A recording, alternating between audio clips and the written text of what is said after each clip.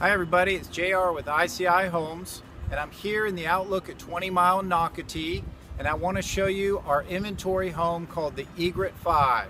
So come on with me and let's go inside and take a look.